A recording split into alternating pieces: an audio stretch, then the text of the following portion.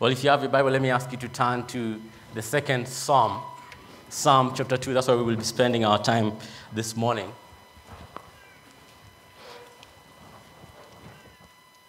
And if you're there, let me ask you that if you can, that you rise to your feet as we read God's word.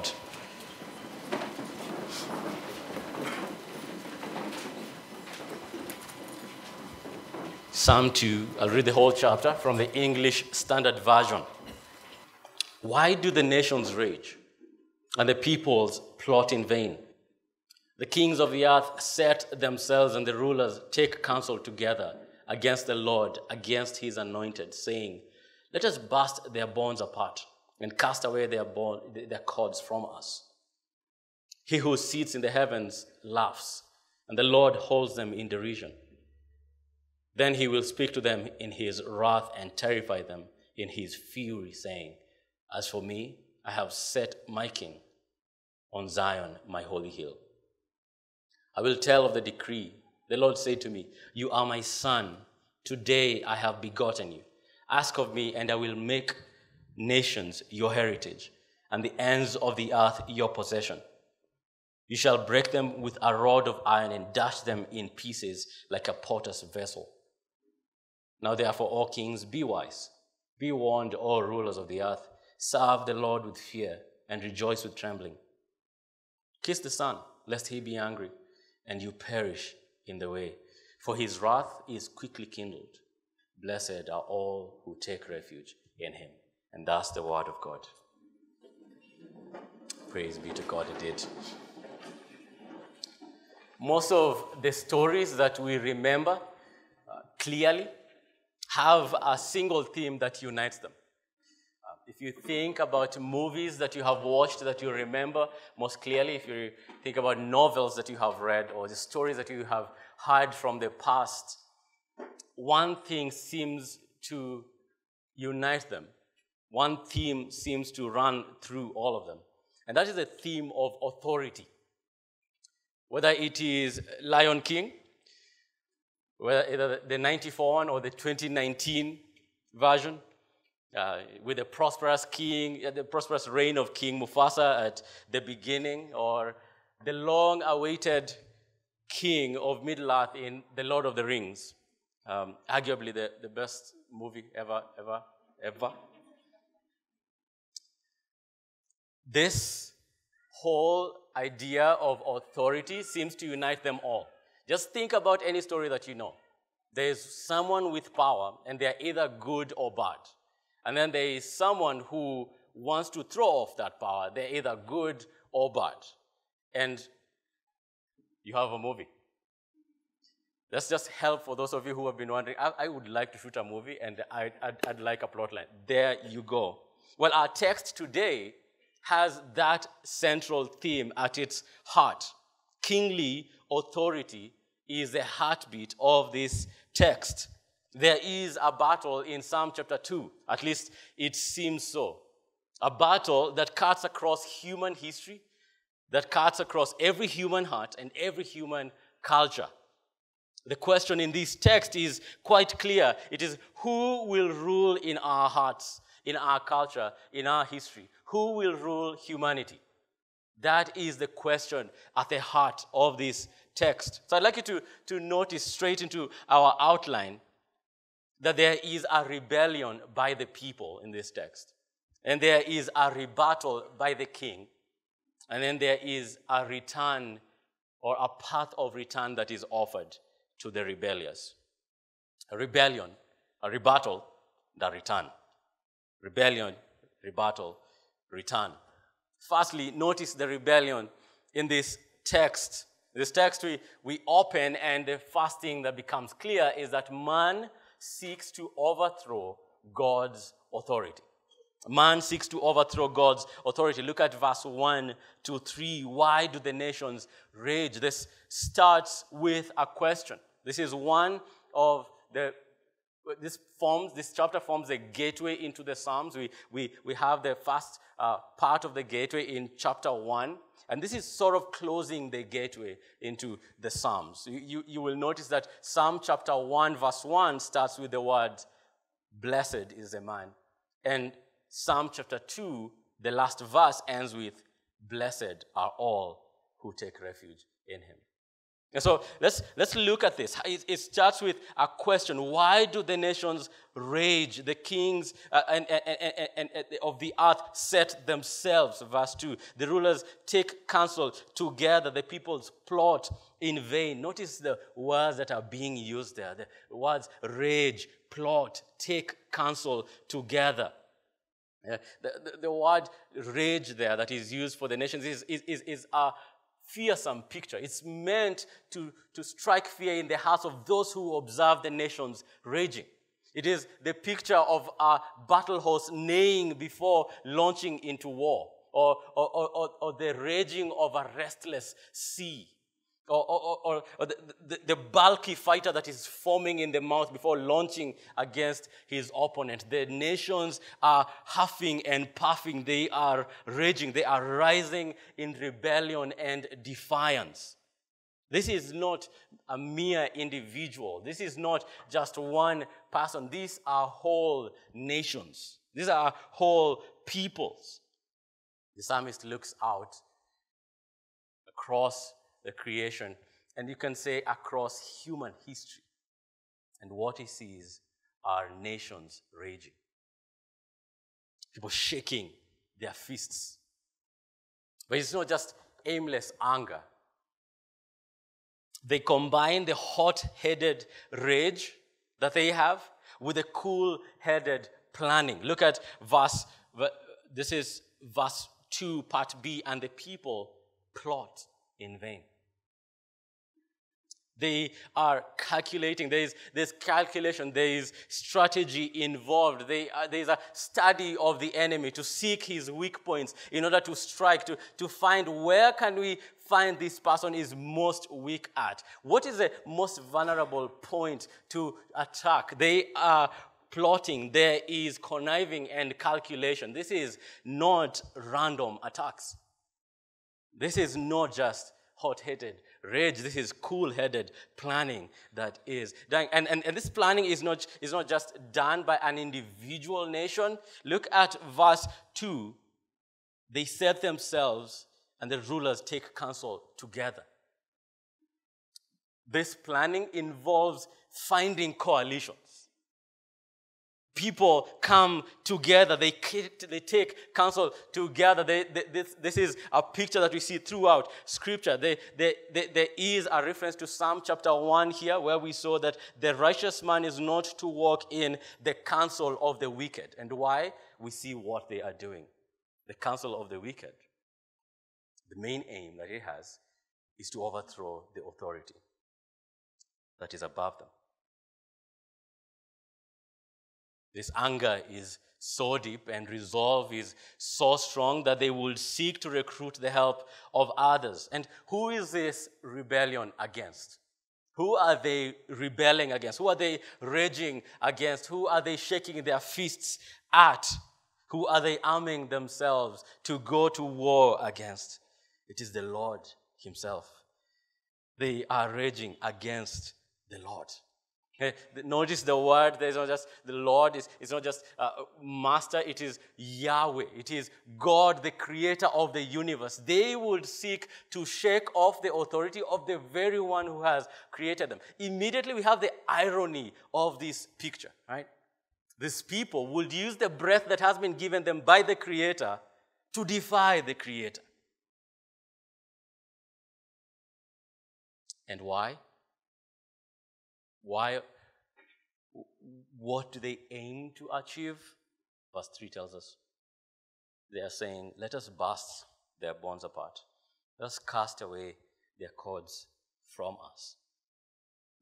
The good and gracious instruction of God is seen by them as bonds and cords to be cast away. They see themselves as unwilling slaves to a harsh master.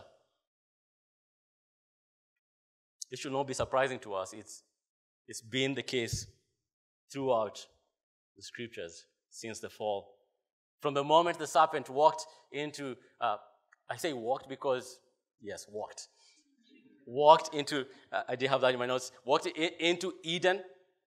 And this is perfect Eden where God's good, gracious reign is being experienced to the fullest. Genesis chapter 2, verse 9 says, And out of the ground the Lord made to spring up every tree that is pleasant to the sight and good for food. This is a great place. This is a beautiful place. All foods are sweet. Uh, sorry, people who hate beet, who love beetroot, but there was no beetroot in the in Eden. You know, if there is just a fruit that just you know just hit by the fall, it's just it's it's beetroot. You know, it's just my opinion. Uh, it's, it's, it's good, it's, it's, en, it's enjoyable. We, we, we are seeing God walking in the cool of the garden with Adam. Adam, has, Adam and Eve have an unmitigated access to, to God. The serpent comes with a lie and says, Hey, you see that reign that you think you're flourishing under? Those are chains. Let me tell you, God is holding out on you. He is not allowing you to live to your fullest. Real joy, happiness, and satisfaction, Adam and Eve, is found in casting away his rules and laws. There's, eh, eh, the devil seeks to convince them that joy and God's reign are mutually exclusive. And this is a lie that continues to be echoed throughout history. It's, it's, it's echoed through different ways, through celebrated cliches like, be your own man. You do you. Now, some of them don't even grammatically make sense. right? How many times have you had variations of these quotes? Do what makes you happy. You follow your heart. That lie keeps being echoed. Hey, you can't submit to God and be truly happy. You can't. And over centuries, individuals, societies, entire civilizations have sought autonomy from God. Over centuries, governments, kings, rulers, judges have risen against any knowledge or worship of God. Authorities have seen Christianity as a threat to their power and therefore sought to remove it from their shores. We see it plainly in our time. We see, we see it through governments that kill and imprison Christians for their beliefs through organizations that deny the sanctity of life in the womb, through entertainment that exalts the self and diminishes the divine. We see this. You're probably thinking, hey, I'm a Christian. I've, I've submitted to Christ. Or, hey, we are not the UN convention. We are not the kings and rulers and judges. So this is not very relevant. But this is relevant to us as Christians because as Christians, seeing the forming in the mouth of the nations, these who are powerful, forming coalitions, these waves of culture that we feel are going to sweep us together with our families, we can find ourselves feeling one of two things. We could, number one, be intimidated it is possible for the Christian to, to feel perplexed, to feel that he is in the minority, to think that the kings of the earth have succeeded in throwing away the bonds of God. It is possible for the Christian to, to, to, to, to be currently in a position, you're currently in a position where your boss or your ruler or your culture is demanding right now that you will do something that dishonors God and you are being intimidated into doing it. And you are on the verge of giving up because you fear the consequences of what the nations will do to you if you do not follow their rules, if you do not play their game. You could be a teenager here who is under vast amounts of peer pressure because of this thing that a celebrity did, and now everyone is doing that honors the culture and dishonors God. And you're feeling fear of being left out. Some of us here, maybe in fear of physical harm, fear of imprisonment, because of the raging of the nations. Or a Christian could be tempted to be seduced, not just intimidated, but we could be drawn by power. A Christian may be pushed to resignation and to be drawn by the allure of apparent power and authority. Like, no, the church doesn't really have power. It's guys out there. Those are the guys who really move things. You really want to get things done? It's out there in the world. It's not, it's not through prayer, it's getting up and doing something. It's not in calling out to God. It is in raising money and making compromises. You could be seduced by the allure of power this morning. It's not so much that you fear harm, it's that you desire the profit that comes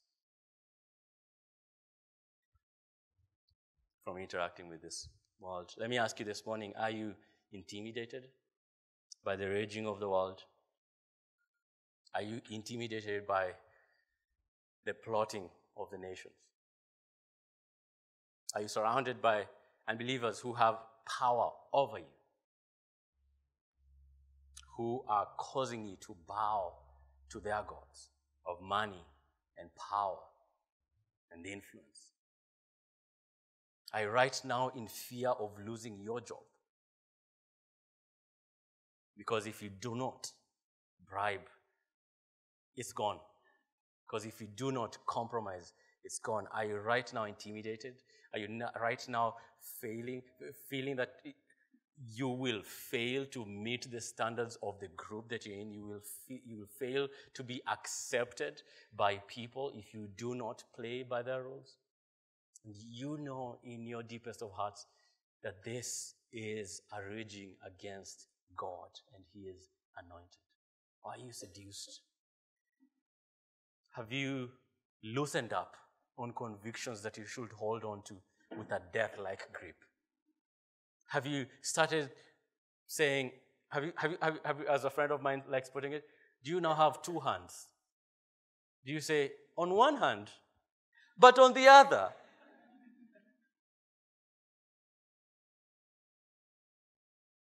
Have you been intimidated this week? Have you been seduced this week? Well, what comfort do I have for you? What consolation could I possibly offer you? Well, let me turn your gaze, as the psalmist invites us to, from the raging of the nations to the throne room of heaven. So, secondly, notice the rebuttal of the king. The king's rebuttal in verse 4. So, what does the king do? How does, does the king respond? This one that they, they seek to overthrow, does he have anything to say? He does. He responds, and he does so with an emphatic rebuttal. Verse 4 to 9, these glorious words that are meant to stabilize our hearts that may be feeling anxious, defeated, resigned, seduced, intimidated. He who sits in the heavens laughs. Notice in this, in this, in this point the attitude of God and the action plan of God. We, we, we, we are, we are, verse 4 shows us the, the attitude of God. He is seated and he is laughing. The kings of the earth are up in arms. They are raising an uproar. And despite their plans, their wiles, their strategies, their plots, their conspiracy, despite their malice, the tumultuous gatherings, the wisdom of their councils, the craft of their lawgivers, God doesn't even bother to stand up. He is not even fidgeting in his seat. He is seated, fully in control. A famous opponent of Christianity, probably one of the greatest opponents of Christianity, was the Roman Emperor Diocletian, who lived between 245 and 313 AD. He is known for his widespread persecution of Christians, uh, to the point that he believed he had driven Christianity to its grave. So he ordered for signs to be put at the edges of his borders. This is vast, the vast Roman Empire at the height of its power, spreading all the way from England to India. And he, he said that this is what should be written on the signs Diocletian, Jovian, Maximian, Hercules, Caesarus, Augustus. That's just his name. For having extended the Roman Empire in the east and west, and having extinguished the name of Christians. We got for another sign to say Diocletian, Jovian, Maximian, Hercules, Caesar, Augusti, for having abolished the superstition of Christ and having extended the worship of the gods. And on that day, as that sign was being nailed on, and they stamped on it the seal of the Roman emperor so that nobody would remove it except by the penalty of death. On that day in heaven, what could be heard was laughter. At this puny, tiny thing of a man who dares to rage against the Almighty God. The Christian seeing that sign would have probably been tempted to despair, would have probably been tempted to, to, to, to, renounce his Christianity and, and, and join in the worship of the Roman gods. Oh, but Christian, look up. Look up to the throne of God, where all that fills heaven is the sound of laughter. God does not fret. God does not wallow in self pity. Oh, those guys don't like me. He laughs at their vain efforts to rebel against him. Diabolical dictators, those with nuclear weapons, terrorists with bombs strapped around their bodies, they are all tiny, puny things in the sight of God that are ridiculed. It's funny that the psalmist gives us this picture because one thing that Christians feel is that the world is laughing at us. The psalmist is like, no, the laughter you're hearing is God laughing at them. One commentator puts it the derisive anger of God is the comfort for all those who love righteousness. It is the laughter of the might of holiness. It is the laughter of the strength of love. God does not exult over the sufferings of his people, but he does hold in derision all the proud boastings and violence of such as seek to prevent his accomplishment of his will. End quote. And what is God's will? Let's look at his action plan. And God goes ahead in verse 6 to set out his plan. He, he, he, he, he, does not, he, he, he's, he's, he's not provoked to action so much as he's already set out his plan. Notice the tense in verse 6. As for me, I have set my king. I have set my king. It's, it's complete. It's in the past. It's something that is guaranteed. It's going to happen. It is something that I have already rolled out. The diary of heaven already had this written in its pages.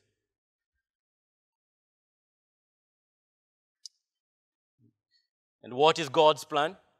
Through whom will God judge? The, God's plan is this God is going to rule over the earth. He's going to rule over the kings and judges and rulers of this earth. He's going to eventually rule over the cultures of this world. He's going to finally rule over the cultural waves of this world through a man, through a king whom he has set on the throne of Zion, on the hill of Zion. While the kings seek to throw off God's rule, he will rule over them. And he will do this through one man. One man who is fully God and fully man.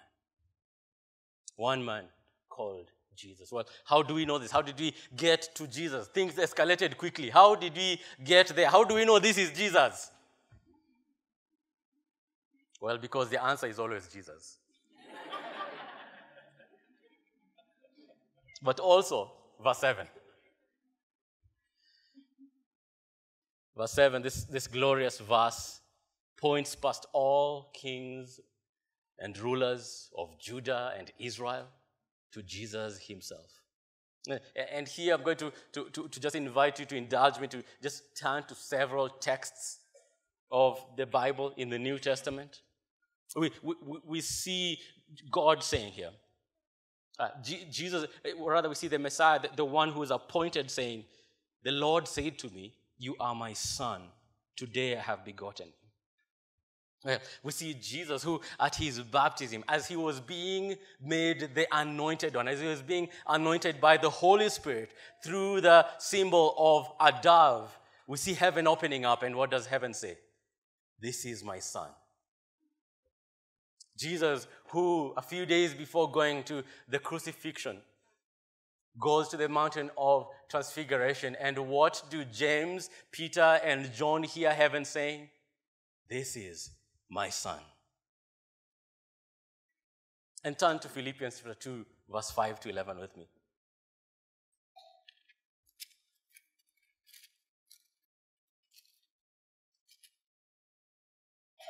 What is this that makes Jesus un? What, what is so special about this one? About this king over all kings? About this this spectacle over every spectacle, this cultural leader over other cultural leaders, this influencer over other influencers. Well, Philippians chapter 2, verse 5 to 12 gives us the answer, 2 to 11 rather gives us the answer. Philippians chapter 2, verse 5 to 11, and I read, Have this mind among yourselves, which is yours in Christ Jesus, who, though he was in the form of God, did not count equality with God a thing to be grasped. Do you already see contrast between God and the kings of this earth?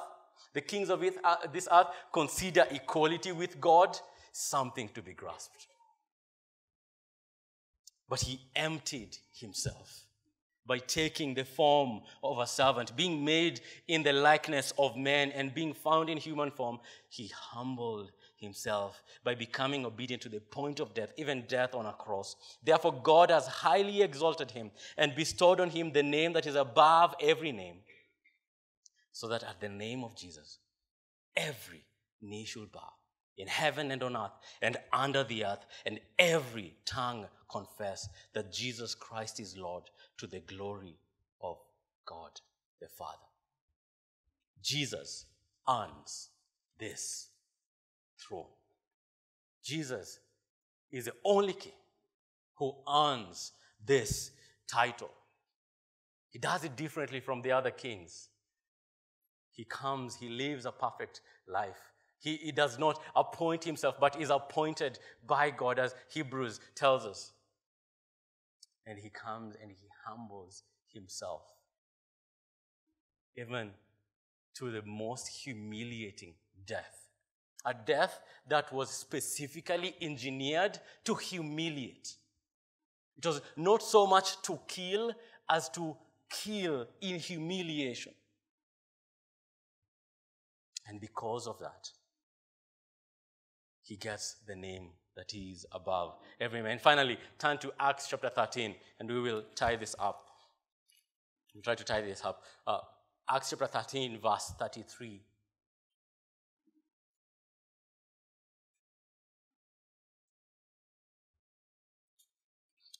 I'll start from verse 30. Acts chapter 13, from verse 30 to 33. If in Philippians, just go back. If you're going right, you're going towards the cover, just go the other way. But God raised him from the dead. And for many days he appeared to those who had come up with him from Galilee to Jerusalem, who are now his witnesses to the people. And we bring you the good news that God, that, that what God promised to the fathers, this he has fulfilled to us, their children, by raising Jesus, as also it is written in the second psalm You are my son. Today I have begotten. You know what Paul is saying? You see the today that is referred to in Acts chapter 2, verse 7b, is the today of the day that Christ rose from the dead. This is the day that Jesus assumed all power, majesty, glory, authority over all the earth. This Christ is the anointed Son of God, the rightful King of all nations, tongues, tribes, races, and ethnicities. This is the plan that God sets right in the face of human opposition. And in fact, God doesn't just respond to opposition by telling them his plan. In fact, he will use human opposition to accomplish his plan. Finally, look at Acts chapter 4, verse 23 and following. Just in the same book of Acts. I hope your finger is still there. Acts chapter 4, verse 23. This is Peter and John. They have been imprisoned for preaching the gospel by the authorities of Jerusalem. And so when they were released, verse 23, they went to their friends and reported that the chief priests and the elders, what the chief priests and the elders had said to them. And when they heard it, they lifted their voices together to God and said, Sovereign Lord, who made the heaven and the earth and the sea and everything in them, who through the mouth of our father David, your servant, said by your Holy Spirit, that's the second psalm. Why did the, why did the Gentiles rage and the peoples plot in vain? And the kings of the earth set themselves, and the rulers were gathered together against the Lord and his anointed. For truly in this city they were gathered together against your holy servant Jesus, whom you anointed, both Herod and Pontius Pilate, along with the Gentiles and the peoples of Israel, to do whatever your hand and your plan had predestined to take place. And now, Lord, look upon their threats and grant to your servant to speak, to continue to speak your word with all boldness. The very plan that the enemies devised was a very plan through which God's plan was accomplished. The rebellion of man does not impede the plans of God. It, in fact, facilitates the plans of God. Oh, Christian, do not be intimidated by the threats of the world, nor be seduced by its appearance of power. Do not join the losing side. Oh, Christian, you know how the game ends. And it's a walk over. That for those who don't watch sports means the other team didn't even show up. oh, Christians, be encouraged. Be very encouraged. God is working all things, including the opposition of Psalm 2, for your good and for His glory, both individually in your life, whether it's that specific boss, whether it's that spe- specific oppressive regime, on the individual scale and on the cosmic scale, God is making all things work together for your good. Hey, if God is currently managing every minute detail of the universe in a way that will give him glory at the end, how much more your life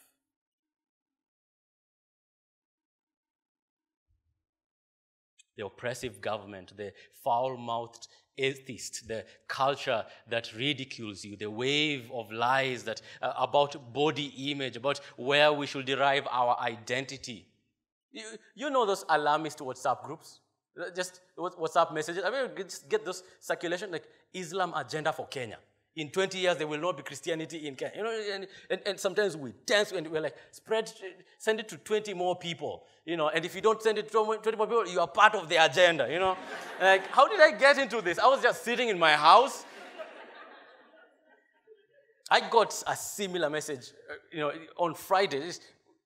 Islam, Islamic uh, agenda for Ghana. I'm like, I don't even know anyone in Ghana.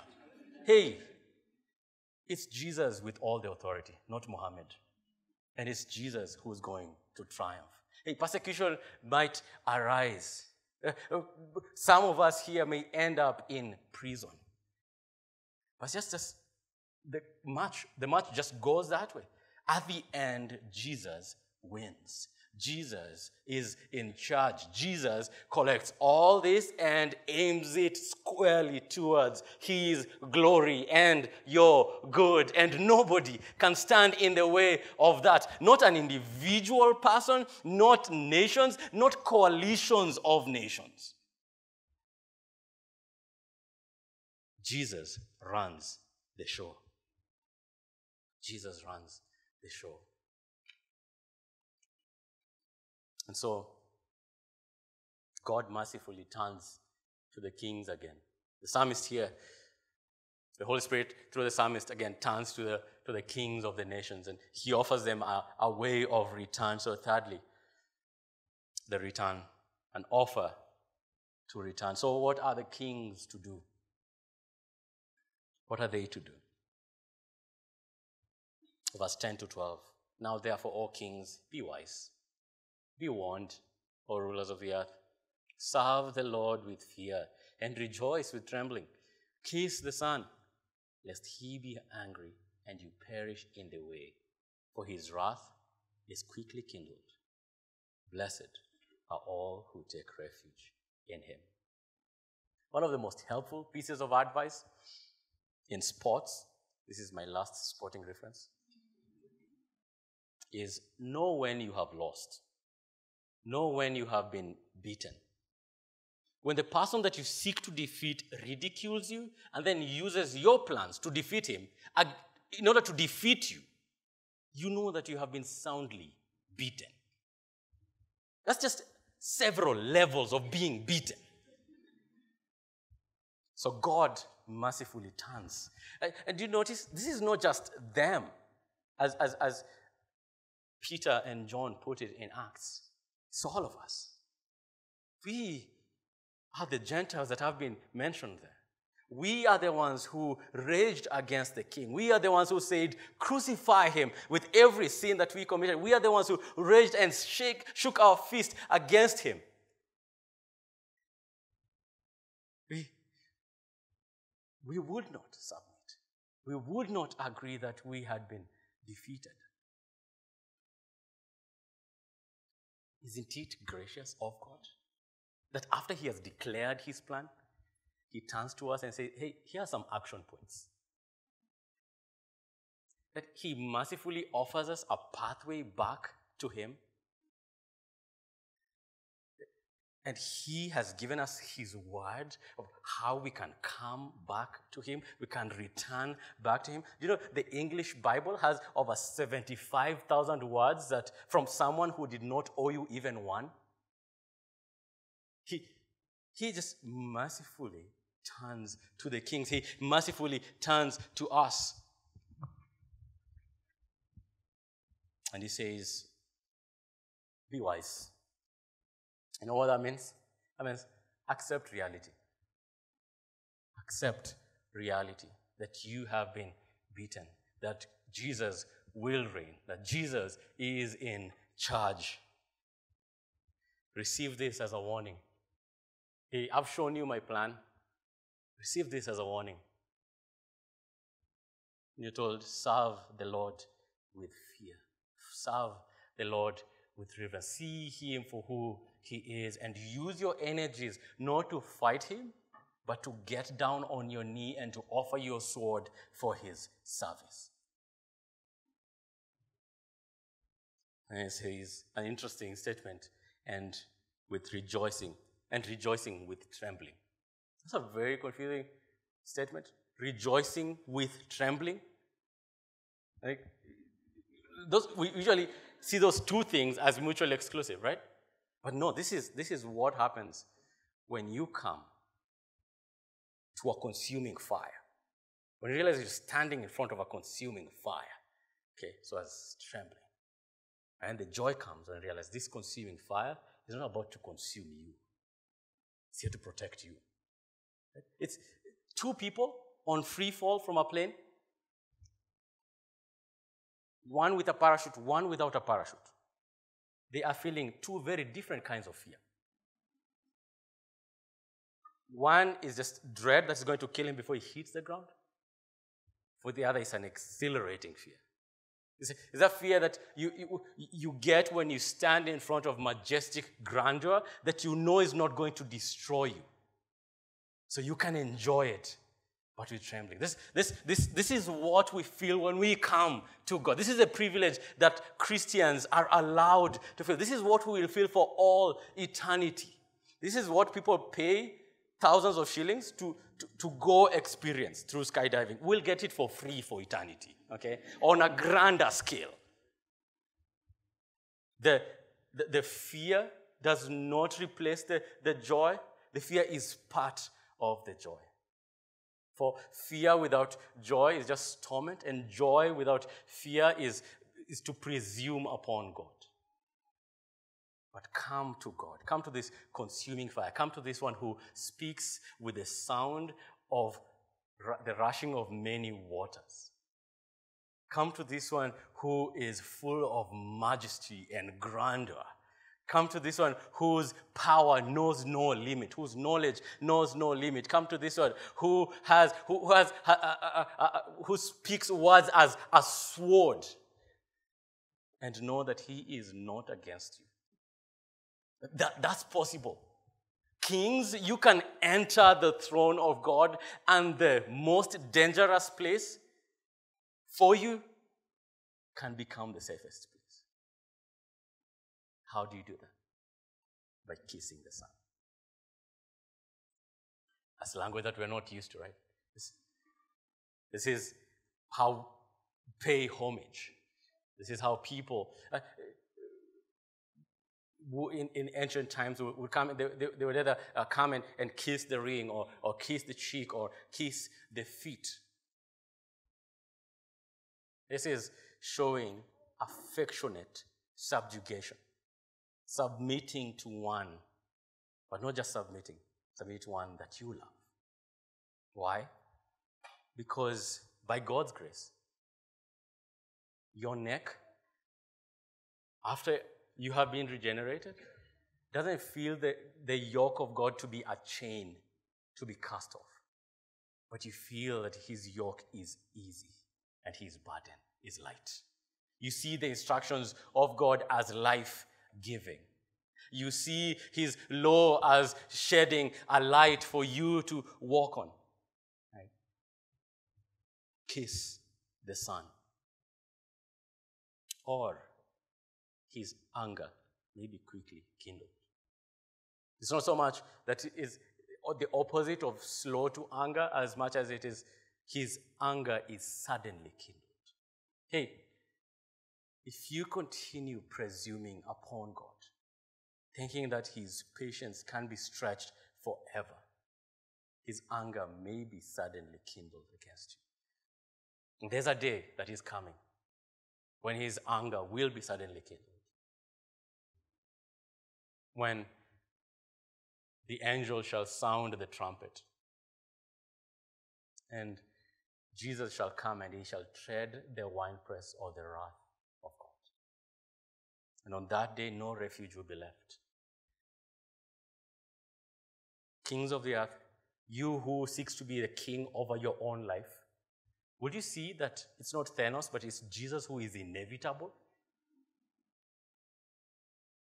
It doesn't matter whether you submit to him or not, you will meet him. As J.I. Packer put it, you will either know him as humble lamb or as roaring lion. Either way, you will know him. Today, there's still grace. There's still grace. Blessed are those who take refuge in him. Today, you can take refuge in him. The only way to hide from God is in God. The only way to hide from His wrath is to hide under His Son, who took upon himself God's wrath on our behalf.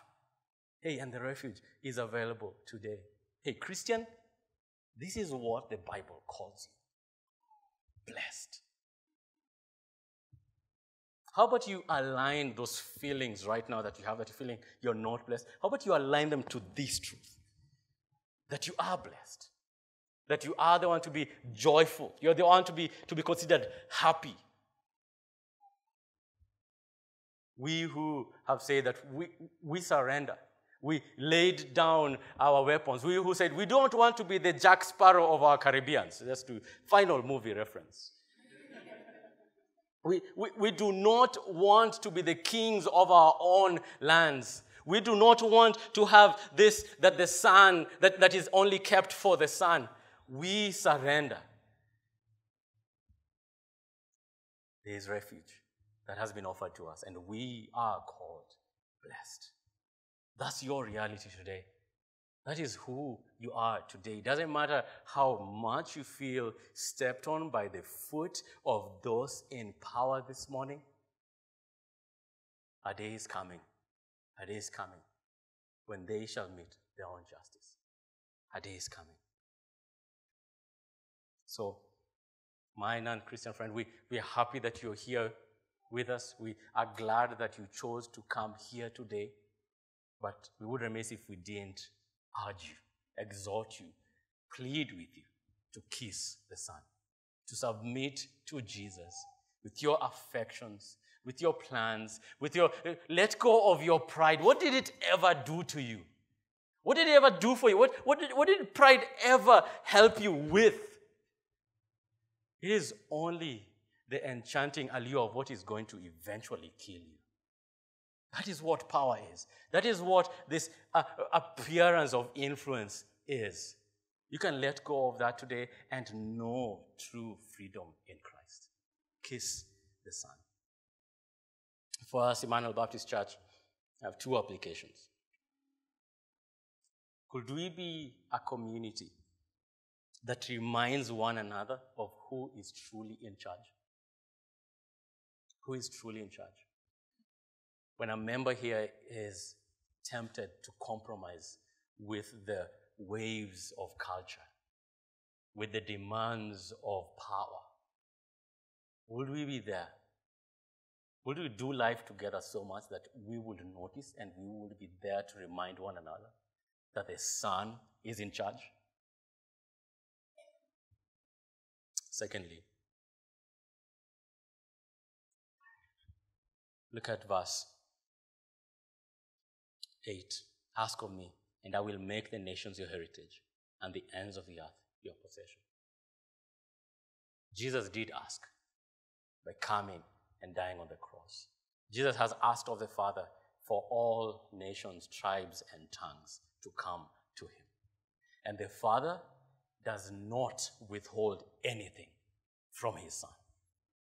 But here's the thing we get to take part in this transaction.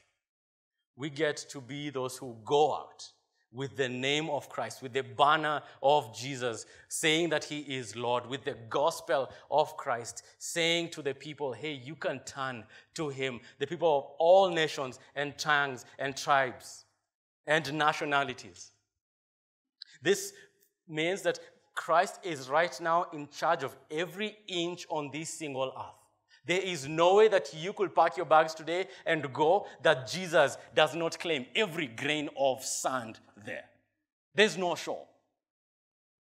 So, would this fire us up to reach out? Would this just fire you up at least to start praying for a tribe that you've never heard of? I have one to suggest to you. Some guys call this dasanach. It's Christian Lwanda who mentioned it to me. I thought it's a vegetable. It's a tribe of people called the dasanach in northern Kenya who have not heard the gospel. Would you just at least commit to pray for the dasanach? That they would turn to Christ, that they would kiss the Son, that God would send and many others. Jesus will have the nations. We today remember Revelation chapter 7, verse 9, that at the end of history, history ends in a song. Although the, the, the, melody of history seems to be rage and anger and fists being shaken, the end of history is people of all tongues, tribes, and nations finally fully acknowledging who is Lord Jesus Christ and none other. So, would we go? Let's pray.